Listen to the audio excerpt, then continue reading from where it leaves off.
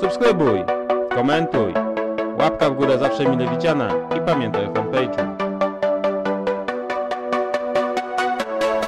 Witam Cię serdecznie, Marcin z tej strony. Kolejne szóste zadanie z zestawu siódmego z książki Teraz Matura z poziomu podstawowego. Zadanie szóste jest następujące. Trzeba liczbę, która jest ułamkiem i ma logarytmy, po prostu wyliczyć. No to lecimy. Pierwsza podstawowa rzecz, ja tu sobie to przekopiowałem. No i teraz musimy zrobić tak, że na początku te, te liczby, co są przed logarytmami, je można włączać do logarytmów tu do środka.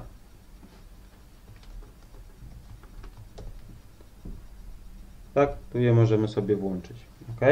Czyli co ja, co, co ja otrzymam?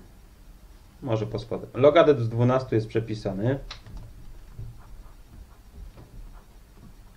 Minus logarytm.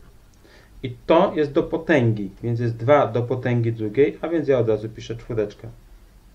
Natomiast tu jest logarytm z 9 minus logarytm z 3.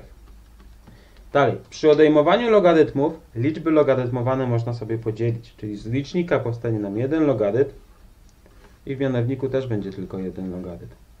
W liczniku podzielimy sobie 12 przez 4, a więc wyjdzie 3, a w mianowniku podzielimy sobie dziewiątkę przez trójkę, a więc też wyjdzie 3. A coś przez coś to jest 1. Tak, jeżeli weźmiemy jakąś liczbę i podzielimy przez tą samą liczbę, 5 przez 5, 1, 10 przez 10, 1, no to logarytm 3 przez logarytm 3 też jest 1. Cała filozofia.